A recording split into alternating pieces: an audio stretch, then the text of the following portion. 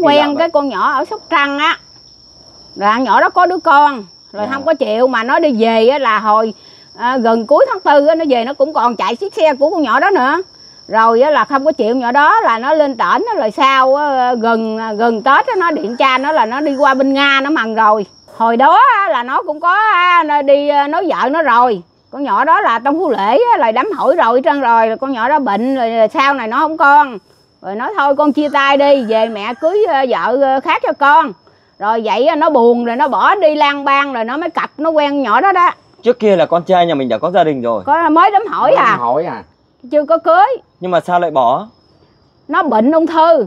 Là là con dâu nhà mình ấy hả? Con dâu không con Là là cô chú là người xúi bỏ hay là tự con trai mình bỏ? Nó à, cười lộn với nhau. Hai nó quýnh lộn. Thì bà đem la bà tả của. Quấn lộn luôn hả? Không biết nó quýnh lộn thì bà đem la bà tả của. Chả của là sao ta? Mà tả vòng vàng vòng á vàng hồi đi đám hỏi rồi đó. Cho á. Cho á. À tức là bà xui. Mà Ờ, xui bà gái xui á. Ừ. Trời đất ơi Tức là con trai nhà mình với lại là con dâu tương lai. Ừ, À. Quấn lộn luôn hả? Dạ Ôi trời ơi chưa cưới mà mới đám hỏi mà quấn lộn rồi. Ừ. Rồi là bà xui ra. Bà chưa ra bà đem trả. Bà với bực mình. À. Bà với đem xính lễ trả. Trả. Hồi đã xính lễ nhiều không cô chú? Cho một cây hai. Cây hai luôn hả? Rồi là trả rồi nói chuyện Có nói chuyện với nhau không? Có nói chuyện. Có. thì à, bà nói á, chừng nào á thì thằng này nó nên người á thành tâm á thì bà cho cưới. Dạ. Thì sao thì nó tự động nó bỏ luôn thì nó đi á, nó mới cặp con nhỏ đó, đó ở sóc trăng á mà lớn nó mấy tuổi mà có đứa con. Dạ rồi con xin phép chào cô chú. Cô chú có thể giới thiệu cô chú tên là gì? Vợ thì tú ba Dạ Cô là quê quán ở đâu cô? Bảo Thạnh có chồng ở Bảo Thuận quê Bến Tre ở Bến Tre. Dạ Còn chú. Quỳnh Thiện Quý. Dạ. Cũng quê quán Bánh Tre. Dạ. Huyện Ba Tri. Cô chú là hai vợ chồng đúng không? Đúng Hôm nay hai vợ chồng cô chú về đây nhờ anh em đội hiệp sĩ người Thanh Hải giúp đỡ gì đây cô chú? Để tìm cho thằng con nó về. Tìm con? À, Con của cô chú họ tên đầy đủ là gì? Quỳnh Trọng Tấn. Huỳnh Trọng Tấn. Dạ, Em nó năm nay nhiêu tuổi rồi à, chú? Hai bảy. 27 tuổi. Bỏ nhà đi lâu chưa chú? Bỏ nhà nay đi à, một năm mấy rồi. Trời đất ơi một năm mấy rồi. Ừ. Sao hôm nay cô chú mới về đây? Tại vì nó nói nó đi làm Dạ. Thì cũng tin nó đi làm thì mình không có tìm nó về. Làm là làm ở đâu ạ? Nó làm bên nga. Trời đất ơi qua Nga luôn hả? Qua nga. Cái ngày đi đó là là là có đúng qua Nga không? Thì nó nói nó đi nga chứ nhà không có cho đi nó trốn nó đi. Ờ, Chứ không phải là nhà mình đưa con mình đi xuất khẩu lao động hả? Dạ không. Không cho nó đi nhưng mà nó trốn đi. Trốn đi là hơn một năm nay à, Có liên lạc về nhà với cô chú không? Có liên lạc về nhà. Thường thường gọi về là gọi bằng điện thoại hay gọi bằng cái gì? Gọi bằng zalo. Gọi Zalo hả? À, Có bao giờ gọi bằng điện thoại không ạ? Không. Cô chú có thấy mặt con trai nhà mình không? Có. Có đúng ở bên Nga không? Thì cũng đâu có biết nó ở đâu bên nga là sao mình cũng đâu có biết ở bên nga là sao. Trước Thì- kia là là con trai nhà mình là có biết tiếng Nga không? Không. Có đi học không? Có đi học mà không không có đi học Có đăng ký là đi học để xuất khẩu lao động không? Không có. Ôi, cái này là không phải đi Nga rồi. Nó đi chui. Đi chui thì cũng phải biết tiếng chứ. Mà đi Nga đâu có phải dễ đâu. Thì nó nói đi qua bển nó ờ, mai. May hả? Mai. May mặc đó ha. Mai mặt nhưng mà nó qua bển nó không biết mai. Thường thường là gọi về cho chú là lúc mấy giờ? 11 giờ. Trưa hay là 11 giờ đêm á. 11 giờ đêm. À, không biết mấy giờ bển không biết Cứ liên tục gọi về như vậy. Ờ rồi ông thì hỏi mày làm gì ạ? Nó ra đang đóng nút. Đóng hút hả? Với ship đồ. Cái thời gian mà cuộc gọi sớm nhất là vào ngày nào chú? Tháng nào? Tháng 11 Gần đây không? Tháng 11 tháng 11 Tháng 11 năm vừa rồi. Năm gì rồi? Cho tới nay là không có gọi nữa. Không có gọi nữa. Trời đất ơi cái này không phải đi Nga rồi cô chú ơi. Cái này là đi đâu đó rồi. Mà ngày đi đó sao lại lại lại lại trốn đi? Cô chú không cho đi hay như thế nào thì nó đi theo bồ nó đó nhỏ đó đó. À thì nó mới đi đi đi đi đi theo nó đi bồ luôn hả? Á thì không biết nó đi có đi chung nhỏ đó hay không mình cũng không biết. Con trai nhà mình đã có gia đình chưa? Có gia đình rồi nhưng mà có mới có năm hỏi à Là sao? Chú có thể chia sẻ cụ thể và rõ ràng hơn được không? Mới có đám hỏi à rồi á nó tới lui tới lui vậy thì làm sao nó mới quýnh lộn với nhau? Ai? Thằng con đó trời đất ơi. Vợ nó quýnh lộn với nhau. Là rồi nó mới bỏ bà mới đem đồ ra bà trả là tức là con trai nhà mình mới làm đám hỏi. Và sau đó thì à, con trai nhà mình với lại con dâu tương lai quấn lộn. Quýnh lộn. Quấn lộn luôn hả? Ờ. Quấn chứ không phải chửi hả? Quýnh lộn. Còn lần đầu tiên mà con mới nghe thấy là cô dâu với chú rể quấn lộn. Ừ. mà lại sắp cưới rồi mà đã là quấn lộn rồi. Ừ. là sau đó là là là Thì bên nhà gái. bên nhà gái mới đem trả đồ trả xính lễ. Ờ. Là tiền vàng này kia đúng chú? Đúng rồi. Là còn mấy ngày nữa là cưới chú? Lâu còn lâu. Còn lâu à?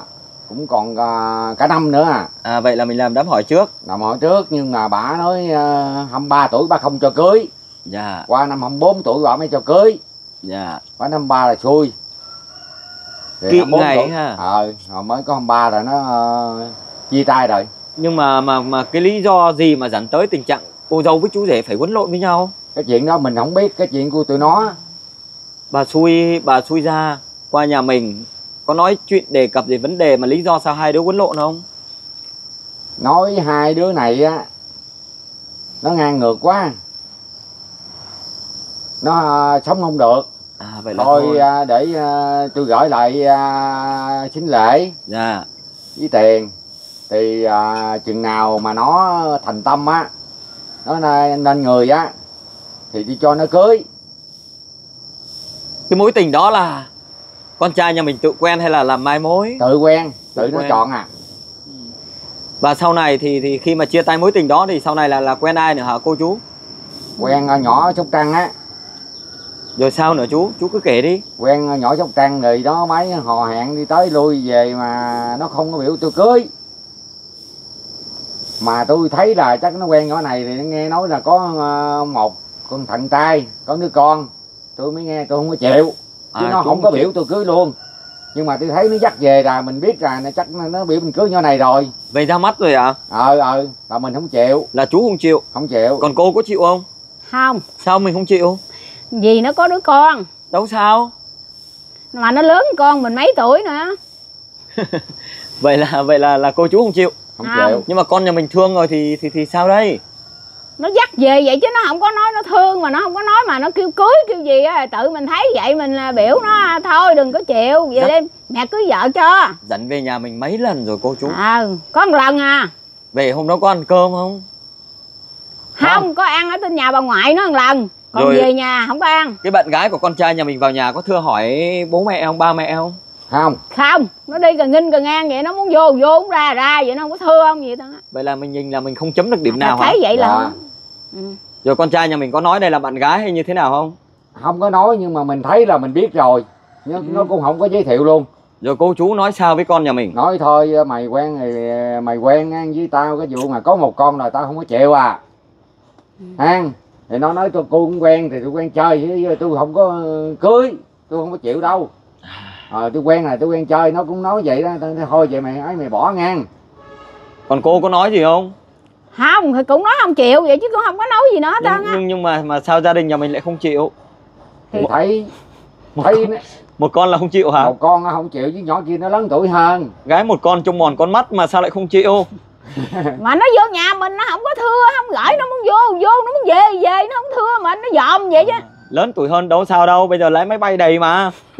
Chú chú cô chú không xem hả? Khi công trẻ lái máy bay đầy mà.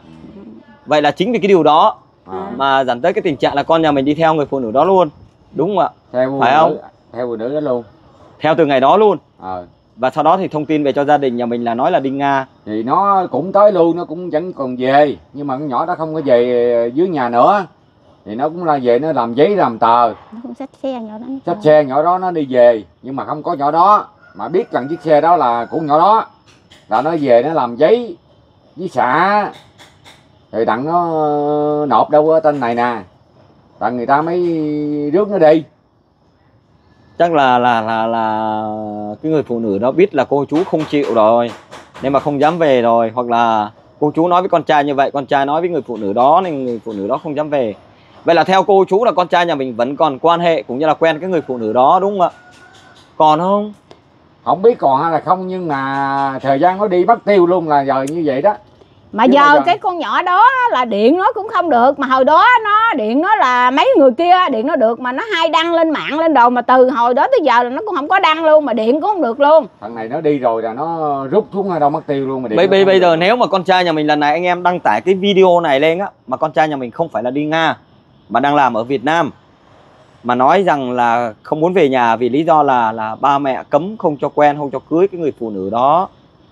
Mà bây giờ anh em đăng lên. Ừ. mà con trai mình quay trở về mà muốn về nhà và muốn thưa chuyện cưới cái người phụ nữ đó và nói rằng là rất yêu người phụ nữ đó muốn sống chung sống suốt đời thì cô chú bây giờ có đồng ý không? Thì giờ hả nó về á, thì coi hả được thì à, nó thì tùy nó ý rồi hả? Nếu mà nó à, cương quyết á, thì nó theo nó ở làm gì làm còn cái cưới á, là tôi không có cưới. Xong cưới? Còn thí dụ mà nó đi nga mà lỡ bị người ta lường gạt cái gì thì bắt chuột á về bao nhiêu tôi cũng chuột con về. Trời đất ơi đi nga đâu có rẻ mà đâu không cô biết nước ơi. gì cũng được hết mà miệng nó có lọt qua bển á thì mấy chú à, chuột giùm về cũng được. Bao nhiêu tiền tôi cũng chuột. Đi nga đâu có rẻ đâu không phải đi nga đâu. Ừ. bởi vì Ừ. nó là nó nó nó quay là nó ship đồ. Với đóng nút nó là hư cái móng tay nè bị nó không biết mai nó bây nó giờ này con chỉ cho chú một cách để biết chính xác con trai nhà mình có đi nga hay không. Chú gọi zalo nói với con trai nhà mình là gọi bằng số điện thoại về cho cha để cha nói chuyện. Là biết rõ liền à. Nếu mà đầu số mà vẫn ở Việt Nam thì là chứng tỏ là con trai nhà mình không có đi Nga nha chú cứ về làm đúng cái cách con chỉ đi. Không. bây giờ mất liên lạc rồi. Mà giờ có lên á là cái à, bưu điện á là hỏi sợ nó không điện cho cha mẹ nó sợ có điện liên lạc bạn bè nó không? Dạ, thì hỏi tên bưu điện đó nói là nó không có đăng ký giờ người ta cắt à, hai chiều hết trơn rồi. Dạ. nhưng mà giờ nó có muốn điện về gia đình hay gì là nó điện tên facebook á thì được. Tên bưu điện Ủa cũng ha. có đi lên bưu điện hỏi rồi. Phải chi cái ngày đó mình đừng có cấm ha. Phải không chú à. chú cấm chi cô cấm chi kệ nó nó yêu ai kệ nó nó sướng thì nó hưởng khổ nó chịu. Thì mình cũng tính nó đâu có bỏ nó đi đâu. Thì mình không chịu Yêu mà. khác. Khi chú chú á khi yêu rồi á khác lắm chú ạ suy nghĩ khác lắm. Tình yêu đâu có phân biệt tuổi tác đâu. Chú chú là hơn tuổi cô hay là cô hơn tuổi chú? Tôi lớn hơn à, vợ. Lớn hơn ha. À, may là chú lớn hơn á à. chứ cô mà lớn hơn giờ là có chuyện để nói rồi á. Ha bây giờ thôi thì cái chuyện đã lỡ rồi. Bây giờ cái chuyện tình yêu hôn nhân của con cái con muốn Ừ. yêu ai thương ai là quyền của con đi cô chú ạ. Cô chú lớn tuổi rồi mà. Ừ. mình đâu có lo được mãi đâu. À. nha bây giờ cô và chú hãy nói một cái điều gì đó với con của mình. Hy vọng rằng là con của mình xem được video này đang ở đâu đó sớm quay trở về đoàn tụ với gia đình. Chú nói đi. Giờ à, thôi. Cha cũng cấm cản mày như vậy. Mà mày muốn thương nhỏ đó thì bây giờ mày về. Muốn cái gì á thì thì mày làm sao tao coi được thì tao cưới cho mày. Còn mày cà kinh mà bật với tao á thì không. Là phải thái độ. Thái độ đổi Thái thái độ. độ. là biết cha biết mẹ. Dạ. Biết mần với tao phụ với tao thì tao lộn mày tao cưới cho mày. Thái độ là hơn trình độ đúng không chú? À, chứ bây giờ mày cà trấn nghinh cà bật với tao thì mày biểu tao cưới cho mày tao sao tao cưới? Phụ mần với tao thì tao mới cưới cho mày được chứ còn mày đi bông bông bông bông không mày đi chơi không thì mày biểu tao tiền đâu tao cưới. Tao tao không có tiền tao cưới. Phụ mần với tao có tiền thì tao cưới. Cưới vợ bây giờ mà cưới vợ cho con là tốn nhiều tiền lắm. Đã tôi kêu nó về á chuyện tiền nó không nói. tao cưới vợ cho mày. Rồi tao cho mày chiếc ghe đó mày đi vợ chồng mày đi. Tao kiếm chiếc khác vợ chồng già với tính em mày là tao đi chiếc khác. Nó cũng không trả lời trả vốn gì hết còn cô bây giờ cô nói một cái điều tình cảm nhất với con đi. Hy vọng con trai nhà mình xem được video này sớm quay trở giờ về á tướng anh ơi giờ con ở đâu á? Con về đi. Rồi mẹ lo cho con. Con đừng đi liêu tiêu vậy mẹ không có an tâm. Cho cưới người phụ nữ đó Dạ. luôn. cưới luôn mà con về á con phải nói làm sao? Rồi cha mẹ lo cho con hả? Nếu á, mày biết điều á thì tính theo biết điều. Còn mày không biết điều thì tao cũng giận cưới. Bây giờ là là như này bây giờ là con của cô chú thương ai thì thôi thì cho nó tự quyết định đi. Kể cả bây giờ nó lấy bà già cũng được nữa kệ nó đi nhá. À. mình mình đừng quan niệm là với sợ không biết nó có đi nước này nước kia không người ta. Lường gạt nó ta quýnh đập được. Theo con nghĩ rằng là là là là không phải đi nga đâu mà chắc có thể là quen cái người phụ nữ đó. Đặc biệt rằng là con trai nhà mình hai đứa rất là thương nhau rồi cô chú phản ứng kiểu là là không muốn cho quen hoặc là thấy cái người phụ nữ đó có con hoặc lớn tuổi hơn nói này nói kia. Nên mà hai đứa quyết định là sống ở đâu đó để để để để để không muốn gặp gia đình á theo con nghĩ là có vậy hôm tháng 11 á là gần tết á là nó có điện cha nó nó giờ qua nước nga lạnh quá nó mần không nổi. Tay chân nó nứt nẻ đó hà là ổng chuyển cho nó ba lần là 47 Thì, triệu. à, tôi mới nói thôi giờ nó không có xin có tiền. chuyển cho nó nữa tôi nói mà thôi giờ con mày mằng không nổi. Mày đi về bao nhiêu tiền? Ừ. tao lo cho giờ mày về. Nó là đi về khoảng chừng 60 triệu. Tao nói rồi để tao sắp xếp tao mượn tiền. Tao lo cho mày. Mày về. Rồi nó mấy bốn năm bữa nó mới điện nó cha có tiền chưa? Tao nói có rồi. Tao chuẩn bị cho mày xong rồi. Rồi nó kêu chuyển tiền qua cho nó. Rồi mượn người ta. Chuyển số tài khoản là tên là của con nhà mình luôn hả chú? Không có chuyển qua cho cái người nào ở với nó á. nó không có số tài khoản. Chuyển ba lần. Là sáu mấy triệu hả? 47 à, triệu. 47 triệu hả? Là nó nói nó mần được hai mấy triệu nữa là nó đưa cho thằng đó nữa. Nó bù vô nó về. Vậy là sau khi đi mà chuyển xong thì mất tích luôn. Thì à, nó mới là mua mấy vé máy bay. Mấy không tin tao không hơn mày gạt nó hoài đúng không nó có mày vé máy bay qua đi nữa. rồi đi chăng nữa thì mày đưa vé máy bay tao chụp cho tao coi gây dạ. Ừ. rồi nó mới chụp vé máy bay. Nó gửi về Gửi về giờ trong mình điện coi. thoại cũng có nữa. Rồi mình mới tin. Giờ Vậy- tài khoản chuyển tiền của nó cũng có luôn. Nó thì cho chuyển tiền qua nó là 25 triệu. Nó là nó bù vô là 20 triệu nữa. Ba lần chưa lần sau nữa thì nó nói à, cái này cũng chưa có đủ nữa. Khổ ha. tôi, tôi à, nó đòi tôi 20 triệu 21 triệu nữa cả nó mới trả giấy bách bò với nó mới mua vé cho tôi về. Thì nó nói là như vậy nó nói nó tới nó lui quá thì nó mới chui qua cửa sổ. Nó trốn nó đi nó dắt theo nhỏ kia. Đi ra thì à, đi ra thì ở ở bển bằng ban đêm nhỏ kia là nhỏ nào? Là nhỏ bồ hả? Bạn của nó bạn nó nói là trẻ bà bà bạn chị. Chị bạn. Là và bà cũng như làm chung thì cũng như khổ quá. Hỏi bà đó ở đâu? Nó là ở miền ngoài trung á. Rồi cái nó mới trốn ra đó hỏi mày làm gì đó. Nó nói là ra đây chờ xe đại đức là xe của cái thằng mà nó điện hồi nó trốn ra dạ. Rồi cái nó quay cái cảnh cái lộ với hàng cây à, bông vàng đẹp dữ lắm cái nó quơ qua cái túng nhà kia tao hỏi ấy còn ai đó mày? Nó nói và bạn chị đó trốn về với tôi đó. Tôi nói ờ thôi vậy được rồi giờ mày ở đây mày chờ à, xe tới phải không? Thì nó nói ờ chở xe tới. Tao hỏi đi đi đi đến đó bao nhiêu? Tiếng đồng hồ nó là 8 tiếng đồng hồ mới tới chỗ. Rồi nó đi tới 8 tiếng đồng hồ ta nói chừng nào con tới chỗ mày điện cho cha hai ngàn. Rồi á, tới sáng tới trưa tới giờ này nè rồi hồi 11 giờ đêm nó tới giờ này nè. Dạ. nó mới điện mà mình điện nó không được. Nó mới điện mình. Rồi nó nó, nó tới chỗ rồi. Giờ ở đây người ta là để người ta sắp xếp người ta mua vé cho mình. Mua vé cho mình rồi thì chuyển đưa cho mình thì người ta mới đưa cho mình ra ngoài sân bay Trung Quốc á. Trung Quốc hả? Ờ sân bay Trung Quốc là mình mới về. Dạ. Thì nó vậy thì cũng nằm chờ nó vậy. Thì cái à, nó nói bữa 16 tây là bữa đó 11 tây tối mà nó nói à, thằng đó nó hỏi sao mày chưa về nó nói, mua vé rồi sao mày chưa về nó nói à, bảo tiết quản lại. Quản lại là tới 16 tây con mới về tới thành phố được. Rồi nó cũng có nhắn tin đó rồi nó nói vậy rồi xong. Chú nghe điện thoại đi. Rồi. Rồi là biến tới giờ luôn rồi á. sáng lại nó mới nhắn tin. Nhắn tin rồi cái mất hút. Rồi bắt tiêu luôn tới giờ luôn. Tổng đài điện. Tắc ơi cái câu chuyện của gia đình nhà mình á về con trai thật sự có rất nhiều cái điều bí ẩn. Ở đây thì con chưa thể kết luận và chưa thể là khẳng định được cái điều gì hết. Tới giờ phút này thì à, cô chú thật sự rất là buồn đúng không ạ? Rất là lo lắng cho con nhà mình không biết là những tháng ngày qua là như thế nào ở đâu làm gì. Sợ họ có hành hạ họ Dạ. có ờ, đánh đập họ có giết nó biết Rồi còn sự- hay sống đó chết. này nghi nằm trong bụng cũng nghi ngờ là coi như là sợ cái thằng này nó mua máy vé- máy vé máy bay ảo hay gì thì đưa qua người ta họ lên họ kiểm vé không phải thì họ nhốt cái đầu nó đi. Bị người gian. Vé này vé mạo danh đặng đi. Rồi họ nhốt đầu nó chắc nó về không được quá. Nhưng mà Mà cũng chưa thôi. chắc đã là là thì qua à, Nga mình đâu. à, suy nghĩ lung tung vậy đó. Suy nghĩ có thể là con nhà mình có thể là lấy lý do này lý do kia và bây giờ có thể làm làm đủ mọi thứ chẳng hạn để sinh tiền ba mẹ.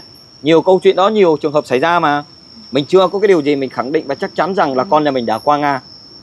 Cô chú ạ nên mà cô chú cứ yên tâm cũng đừng lo lắng quá. Thì hôm nay thì cô chú về đây nhờ anh em đội hiệp sĩ Nguyễn Thanh Hải quay phim ghi hình Ừ. đăng tải lên khắp các trang mạng xã hội để với mục đích chính là tìm con. Thì cô chú có đồng ý cho tất cả các anh em đăng tải video câu chuyện của gia đình nhà mình lên khắp các trang mạng xã hội để tìm con trai mình không? Đồng ý. Đồng ý. Con hy vọng rằng là con trai của cô chú xem được video này đang ở đâu đó sớm quay trở về hoặc là báo tin về cho gia đình để gia đình yên tâm.